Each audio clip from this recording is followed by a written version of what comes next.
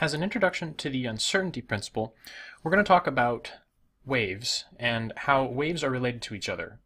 We'll get into a little bit of the context of Fourier analysis, which is something we'll come back to later. But the overall context of this lecture is the uncertainty principle. And the uncertainty principle is one of the key results from quantum mechanics, and it's related to what we discussed earlier in the context of the boundary between classical physics and quantum physics. Quantum mechanics has these inherent uncertainties that are built into the equations, built into the state, built into the nature of reality that we really can't surmount. And the uncertainty principle is one way in which those, or is the mathematical description. Uh, it's those relationships that I gave you earlier. Delta p, delta x is greater than about equal to h bar over 2. I think I just said greater than about equal to h bar earlier. We'll do things a little more mathematically here, and it turns out there's a factor of 2 there. To start off, though, conceptually think about position and wavelength. And this really is now in the context of a wave. So say I had a coordinate system here, something like this. And if I had some wave with a very specific wavelength, you can just think about it as a sinusoid. If I asked you to measure the wavelength of this wave, you could take a ruler and you could plop it down there and say, okay, well, how many inches are there from peak to peak? Or from zero crossing to zero crossing?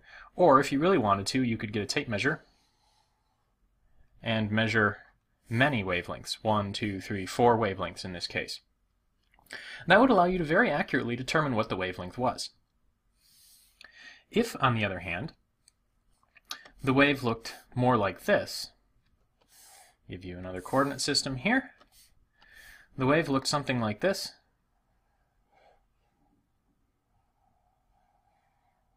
you wouldn't be able to measure the wavelength very accurately.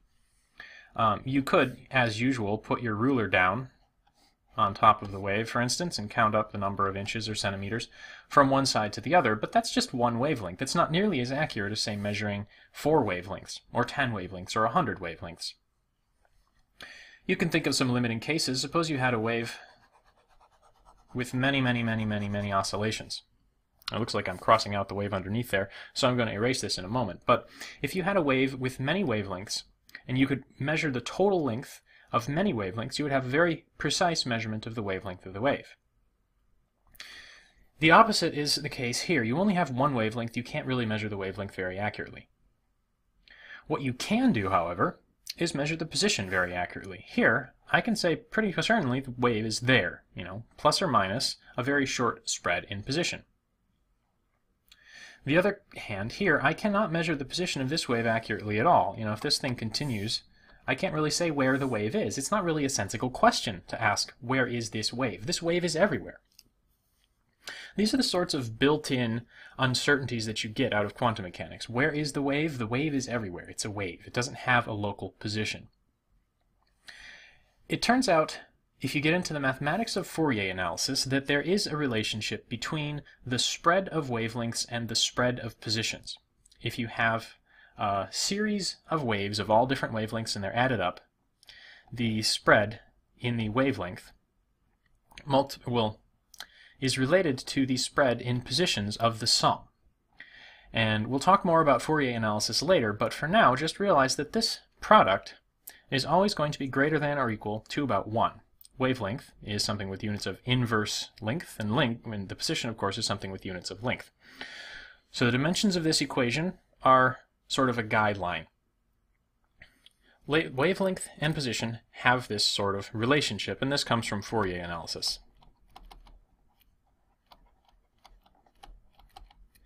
So how do these waves come into quantum mechanics? Well, waves in quantum mechanics really first got their start with Louis de Broglie. I always thought his name was pronounced de Broglie, but it's, uh, well, he's French, so there's all sorts of weird pronunciations in French. De Broglie is my best guess at how it would probably be pronounced. De Broglie proposed that matter could travel in waves as well. And he did this with a interesting argument on the basis of three fundamental equations that had just recently been discovered when he was doing his analysis. This was in his PhD thesis, by the way.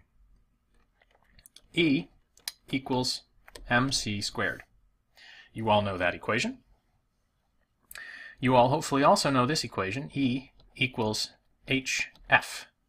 Planck's constant times the frequency of a beam of light is the energy associated with a quanta of light. This was another one of Einstein's contributions, and it has to do with his explanation of the photoelectric effect. The final equation that de Broglie was working with was C, C equals F lambda. The speed of light is equal to the frequency of the light times the wavelength of the light. And this is really not true just for light. This is true for any wave phenomenon. The speed, the frequency, and the wavelength are related. Now, if these expressions are both equal to waves, or are both equal to energy, then I ought to be able to say mc squared equals hf. And this expression tells me something about f.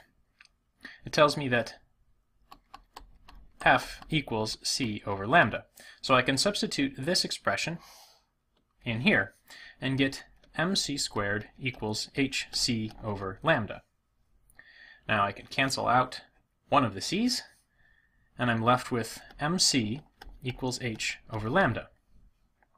Now what de Broglie said was this, this is like momentum. So I'm going to write this equation as p equals h over lambda. And then I'm going to wave my hands extraordinarily vigorously and say, while this equation is only true for light, and this equation is only true for waves, this is also true for matter. How actually this happened in the context of quantum mechanics in the early historical development of quantum mechanics is de Broglie noticed that the spectrum of the hydrogen atom, these bright line spectra that we were talking about, where a hydrogen atom emits light of only very specific wavelengths. Intensity as a function of wavelength looks something like this. That that could be explained if he assumed that the electrons were traveling around the nucleus of the hydrogen atom as waves, and that only an integer number of waves would fit. The one that I just drew here didn't end up back where it started, so that wouldn't work. If you had a wavelength that looked something like this, going around, say, three full times in a circle, that that would potentially count for these allowed emission energies. Uh, that was quite a deep insight, and it was one of the things that really kicked off quantum mechanics at the beginning. The bottom line here, for our purposes, is that we're talking about waves, and we're talking about matter waves. So that uncertainty relation, or the relationship between the spreads of wavelengths and the spreads in positions that I mentioned in the context of Fourier analysis, will also potentially hold for matter. And that gets us into the position momentum uncertainty relation. The wave momentum relationship we just derived on the last slide was p equals h over lambda. This tells you that the momentum and the wavelength are related. From two slides ago, when we were talking about waves and uh, whether or not you could say exactly where a wave was, we had a relationship that was something like delta lambda, the spread in wavelengths, times the spread in positions of the wave, is always greater than about equal to 1. Combining these relationships together in quantum mechanics and this is not something that I'm doing rigorously now, I'm just waving my hands, gives you delta p delta x is always greater than about equal to h bar over 2. And this is the correct mathematical expression of the Heisenberg uncertainty principle that we'll talk more about and derive more formally in Chapter 3. But for now, just realize that the position of a, of a wave, the position of a particle, are uncertain quantities, and the uncertainties are related by this, which in one perspective results from consideration of adding many waves together in the context of Fourier analysis, which is something we'll talk about later as well, extended through uh, the use of, or the interpretation of matter as also a wave phenomenon. To check your understanding, Here are four possible wave packets, and I would like to rank I would like you to rank them in two different ways. One, according to the uncertainties in their positions, and two, according to the uncertainties in their momenta. So if you consider, say, wave B to have a very certain position, you would rank that one highest in terms of the certainty of its position.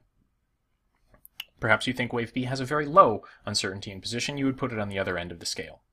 I'm looking for something like the uncertainty of B is greater than the uncertainty of A is greater than the uncertainty of D is greater than the uncertainty of C for both position and momentum. The last comment I want to make in this lecture is on energy-time uncertainty. This was the other equation I gave you when I was talking about the boundary between classical physics and quantum physics. We had delta p delta x is greater than or equal to h bar over 2, and now uh, we also had uh, excuse me for a moment here, delta E, delta T greater than about equal to h bar over 2. Same sort of uncertainty relation, except now we're talking about spreads in energy and spreads in time. And I'd like to make an analogy between these two equations. Delta P and delta X. Delta P, according to de Broglie, is related to the wavelength. which is sort of a spatial frequency. It's uh, the frequency of the wave in space. Delta x, of course, is just, well, I'll just say that's a space. And these are related, according to this equation. In the context of energy and time, we have the same sort of thing. Delta t, well, that's pretty clear, that's time. And delta e, well, that then, therefore, by analogy here, has to have something to do with the frequency of the wave now in time. And that's simple, that's just the frequency. The fact that these are also related by an uncertainty principle tells you that there's something about energy and frequency and time. And this is something that we'll talk about in more detail in the next lecture when we start digging into the Schrodinger equation. Uh, the time-dependent Schrodinger equation and deriving the time-independent Schrodinger equation, which will give us the relationship exactly. But for now, position and momentum, energy and time, we're all talking, are both talking about sort of wave phenomenon, except in the context of position and momentum, you're talking about wave length, frequency of the wave in space, whereas energy and time, you're talking about the frequency of the wave in time, how quickly it oscillates. That's about all. The uncertainty principle, as I've said, is something that we'll treat in much more detail uh, in Chapter 3. But for now, the uncertainty principle is important because you have these equations, and these are fundamental properties of the universe, if you want to think of them that way. And they're something that we're going to be working with as a, a way of of checking the validity of quantum mechanics throughout the rest of the next, throughout chapter 2. Um, that's all for now. You just need to conceptually understand how these wave lengths and positions or frequencies and times are interrelated